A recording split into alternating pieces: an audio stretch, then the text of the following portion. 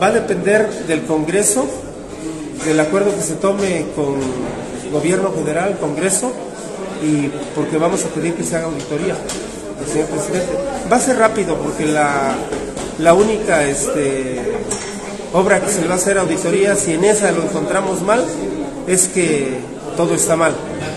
Va a ser una obra muy pequeña que la pueden auditar en menos de 24 horas. Y pues esto va a tener celeridad. Va a depender también mucho del gobierno del Estado, del Congreso de la Unión, para que esto llegue a un buen fin.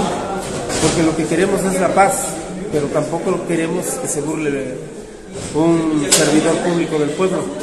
Le mandamos muchos saludos a todos los amigos que nos ven. Si gustan venirnos a acompañar, esta, este cierre de la presidencia es para que se le haga auditoría.